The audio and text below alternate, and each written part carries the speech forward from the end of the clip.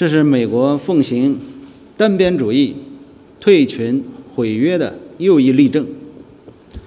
作为全球公共卫生安全领域最权威、最专业的国际机构，世卫组织在应对全球新冠肺炎疫情上发挥着不可或缺的中心协调作用。当前，国际抗疫正处于关键阶段，支持世卫组织就是支持国际抗疫合作，支持挽救生命，这是国际社会的广泛共识。美国的这一做法破坏国际抗疫努力，特别是给急需国际支持的发展中国家带来严重消极影响。我们敦促美方履行应尽的国际责任和义务，展现一个大国